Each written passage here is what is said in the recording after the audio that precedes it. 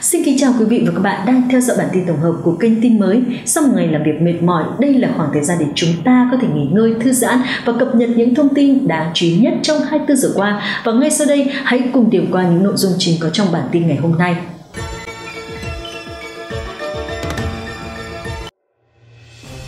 Chào mừng các bạn đã quay trở lại bản tin của tin mới. Trong bản tin ngày hôm nay, các bạn thân mến, tin mới sẽ mang đến cho quý vị và các bạn nội dung sau.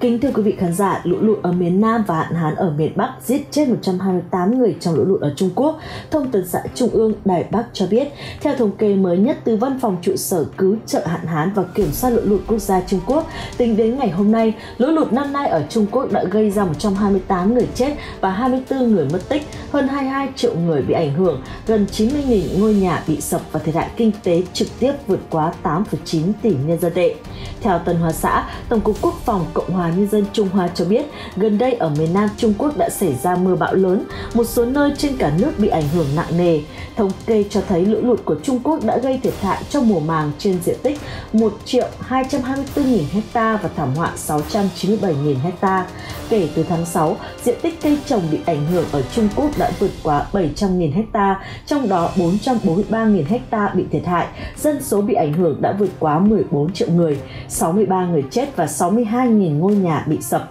thiệt hại kinh tế hơn 6,5 tỷ nhân dân tệ. Về điều kiện hạn hán, tính đến ngày hôm qua, hơn 160 triệu hecta đất canh tác ở Trung Quốc đã bị ảnh hưởng bởi hạn hán, trong đó 120 triệu hecta hoa màu bị hạn hán, hơn 10 triệu người và hơn 9 triệu gia súc lớn không có nước uống.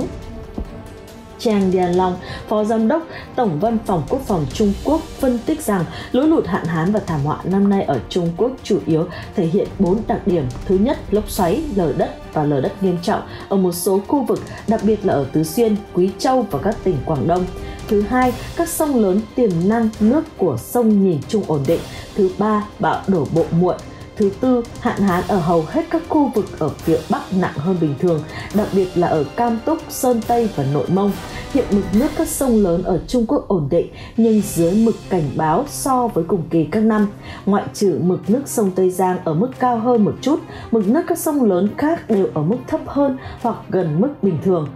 Thưa quý vị, Tứ Xuyên, nơi vừa hứng chịu đợt nắng nóng hiếm gặp vào mùa hè và hạn hán nghiêm trọng, hiện đang hứng chịu những trận mưa lớn có thể mang đến nguy cơ lụt lụt vào những ngày tới hơn 60.000 người dân địa phương đã được khẩn cấp chuyển đến khu vực an toàn. Theo dự báo khí tượng thủy văn, từ 8 giờ ngày hôm qua đến 8 giờ ngày hôm nay sẽ có mưa to đến rất to ở Nam Thiểm Tây, Đông và Tây Nam lưu vực Tứ Xuyên, Trùng Khánh, nằm ở khu vực đồi núi có thể nhìn ra những ngọn núi và vùng nông thôn xung quanh đã đưa ra cảnh báo lũ quét trong hai ngày liên tiếp. Lũ quét đã xảy ra ở 11 thành phố bao gồm Thành Đô và Quảng Nguyên. Theo CCTV, cơ quan ngôn luận của Đảng Cộng sản hôm thứ Hai cho biết 61.000 người ở Tứ Xuyên đã được chuyển đến những nơi an toàn hơn do những trận mưa xối xả qua đêm kể từ đêm Chủ nhật. Quảng Nguyên, A3 và những nơi khác đã xảy ra thảm họa địa chất mưa 188mm đã được ghi nhận tại làng Diêm Hải, thị trấn Lệ Giang, huyện Cang Tây thuộc thành phố Quảng Nguyên, một trong hai thành phố bị ảnh hưởng nặng nề nhất ở Tứ Xuyên do hạn hán. Trung tâm Thủy văn tỉnh Tứ Xuyên cho biết nhiệt độ cao và hạn hán gần đây, lượng nước của các con sông chính trong tỉnh xuống thấp nghiêm trọng. Vùng núi Long Môn và cao nguyên Tây Tứ Xuyên trong khu vực sẽ xảy ra hạn hán có lượng mưa lớn. Mưa lớn sẽ thay đổi mạnh mẽ, sẽ dẫn đến núi non trùng điệp, sông ngòi ngập lụt gây ra tai biến địa chất trong đó Sơn Tây, Tứ Xuyên, Trùng Khánh và những nơi khác có nguy cơ lũ quét và thảm họa địa chất cao hơn. Vào tối ngày hôm qua, Bộ trưởng Quốc phòng Trung Quốc đã phát động ứng phó khẩn cấp 4 cấp về kiểm soát lũ lụt ở Tứ Xuyên và Trùng Khánh. Vào tối ngày hôm qua, Cục Quản lý nước thành phố Trùng Khánh đã phát động ứng phó khẩn cấp cấp độ 4 đối với thảm họa lũ lụt và hạn hán ở 14 quận và hạn bao gồm Changku, Ulsan và Wuxi, yêu cầu điểm mấu chốt là không để xảy ra thương vong. Những thay đổi về thời tiết đã làm dịu bớt thời tiết nắng nóng. Sau 2 tuần cắt điện do lượng điện giảm, CCTV tuyên bố trên trang web của mình rằng với với sự giảm nhiệt độ, lượng mưa để bổ sung các hồ chứa phát điện và nhu cầu sử dụng máy điều hòa không khí của các hộ gia đình, Tứ Xuyên thiếu điện đã được giảm bớt, tình hình dần dần dịu đi. Tuy nhiên, vấn đề tiêu thụ điện vẫn chưa được giải quyết triệt để. Giao Hồng, giám đốc bộ phận tiếp thị của công ty điện lực Tứ Xuyên thuộc lưới điện Đảng Cộng sản Trung Quốc cho biết mức tiêu thụ hàng ngày của người dân đã giảm tới mức cao nhất là 473 triệu kWh xuống còn 340 triệu kWh. Ông cũng nói thêm rằng mâu thuẫn giữa cung và cầu điện ở Tứ Xuyên sẽ được giảm bớt, nó sẽ được giải quyết về cơ bản trong 3 ngày tới. Sản lượng điện sụt giảm đã khiến các công ty điện lực ở Tứ Xuyên tăng cường sử dụng các nhà máy nhiệt điện than, vốn đã tăng từ 10% lên 25% sản lượng điện, với 67 nhà máy điện hoạt động hết công suất, theo Kaixin của Trung Quốc. Thưa quý vị, trận mưa xối xả vừa qua ở Quảng Đông khiến 21 người thiệt mạng và thiệt hại hơn 6,3 tỷ nhân dân tệ. Theo tình hình thiên tai mới nhất được thông báo bởi Bộ Chỉ huy phòng chống lụt bão, hạn hán và gió tỉnh Quảng Đông, số người bị ảnh hưởng trong tỉnh lên tới hơn 2 triệu 257 nghìn người, 21 người chết và thiệt hại kinh tế trực tiếp lên tới hơn 1,46 tỷ nhân dân tệ, khoảng 6,34 tỷ đài tệ. Do dự báo có mưa lớn trong ngày hôm nay và ngày mai nên tất cả các đơn vị liên quan đã được báo động để phòng thiên tai diện rộng. Theo thống kê, Meiju là nơi xảy ra thảm họa nghiêm trọng nhất trong đợt mưa bão này. Tại tỉnh Quảng Đông có 21 người chết, 3 người mất tích, 279 người bị thương, 18.000 ngôi nhà bị sập và hơn 123.000 hecta hoa màu bị ảnh hưởng. Theo dự báo của Đài quan sát khí tượng tỉnh Quảng Đông, trong ngày hôm nay sẽ có một đợt mưa diện rộng mới do ảnh hưởng tổng hợp của luồng khí dạnh áp cao và dạnh áp thấp. Dự báo đêm nay và ngày mai trên địa bàn tỉnh có mưa to đến rất to và có nơi mưa rất to. Tổng cục Tam phòng tỉnh Quảng Đông chỉ rõ, Quảng Đông đã bước vào mùa lũ chính, các địa phương cần tăng cường công tác phòng chống mưa bão, đặc biệt chú ý đề phòng tai biến địa chất như sạt lở đất, sạt lở núi, lốc xoáy, tại miền Nam Trung Quốc hơn 10 triệu người bị ảnh hưởng bởi lũ lụt, 71 người thiệt mạng.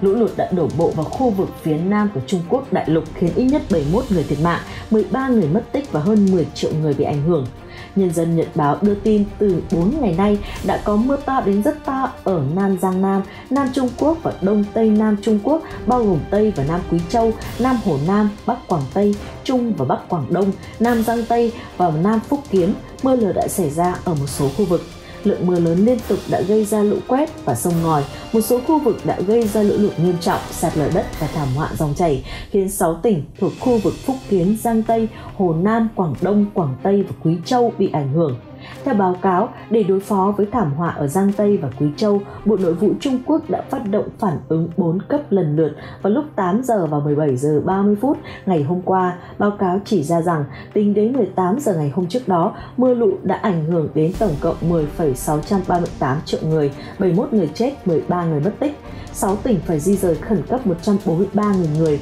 thiệt hại 352.000 ha hoa màu, 57.600 ha không cho thu hoạch. 56.000 ngôi nhà bị sập và 104.000 ngôi nhà bị hư hại, thiệt hại kinh tế trực tiếp 34.130 triệu nhân dân tệ, trong đó 1,79 tỷ nhân dân tệ thiệt hại trực tiếp cho nông nghiệp. Theo báo cáo, sau khi xảy ra thiên tai, các địa phương bị thiên tai đã kịp thời phát động phương án tích cực tổ chức quần chúng nhân dân thực hiện công tác cứu trợ thiên tai. Lở đất ở Tứ Xuyên làm 23 người chết, 10 người mất tích. Theo báo chí nhà nước Trung Quốc, mưa lớn liên tục ở một số khu vực của tỉnh Tứ Xuyên, Tây Nam Trung Quốc đã dẫn đến lở đất. Tính đến sáng ngày hôm thứ Năm, 23 người thiệt mạng và 10 người mất tích do mưa xối xả và lũ lụt hơn 110.000 người đã được di chuyển khẩn cấp vào sáng sớm ngày thứ tư các thành phố như Ganji, Xiangwansan, Aba và Daju ở tỉnh Tứ Xuyên đã trải qua những trận mưa lớn với lượng mưa lên tới 30 mm trong một thời gian ngắn, do đó gây ra nhiều dòng chảy vụn, lở đá và lở đất vào thứ Sáu, một trận lở đất lớn đã ập vào một ngôi làng nhỏ có tên là Heba, khiến 12 người thiệt mạng và 18 người bị thương, trong đó có hai người bị thương nặng. Lúc 20 giờ 20 phút cùng ngày, nhiều tảng đá lớn rơi xuống từ sụp đổ của tảng đá cao và rơi trúng một chiếc xe khách đang di chuyển trượt xuống sườn sông Dabu cao gần 10 mét khiến 10 người thiệt mạng và 16 người bị thương. Tính đến sáng nay, địa phương thống kê sơ bộ, vụ sạt lở đất đã khiến 23 người chết và 10 người mất tích. Mưa và lũ lụt cũng đã làm hư hỏng đường cao tốc và cầu, phá hủy hơn 3.000 ngôi nhà, hư hỏng 1.300 ha đất canh tác và cuốn trôi một số lượng lớn gia súc, hơn 2 triệu người bị ảnh hưởng. Được biết, lở đất cũng đã xảy ra ở huyện Lebo, huyện Đê Trang, thành phố Si Trang và những nơi khác ở tỉnh Tứ Xuyên vào tối ngày hôm qua. Từ 19 giờ 30 phút đến 22 giờ ngày hôm qua, một luồng mảnh vỡ đã đổ vào Dehegu, làng Kyontu, thị trấn Mohong, huyện Lebo dòng mảnh vỡ đã chặn cầu đường cao tốc và lao qua đường vào các ngôi nhà trên phố. Các nhân viên tìm kiếm và cứu hộ đã tìm thấy 7 người tại khu vực xảy ra thảm họa, thi thể các nạn nhân và 3 người khác đang mất tích. Theo quan sát khí tượng địa phương, mưa lớn vẫn sẽ xảy ra tại ba tỉnh Ganji, Aba, Liansan trong vài ngày tới. Và thông tin trên cũng đã kết thúc chương trình hôm nay của tin mới. Để không bỏ lỡ những thông tin của chúng tôi, quý vị hãy bấm like, share và subscribe để nhận được thông báo mới nhất khi chúng tôi phát sóng. Còn bây giờ xin thân ái chào tạm biệt và hẹn gặp lại. Cảm ơn quý vị và các bạn đã chú ý theo dõi. Mọi ý kiến đóng góp của quý vị hãy để lại trong phần bình luận video này để chúng tôi có thể kịp thời giải đáp những thắc mắc giúp quý vị. Nếu quý vị thấy hay thì hãy ấn like và nhấn biểu tượng chuông phía dưới để không bỏ lỡ những video mới nhất của 30 tập chúng tôi nhé. Hẹn gặp lại quý vị trong các bản tin tiếp theo của tin mới.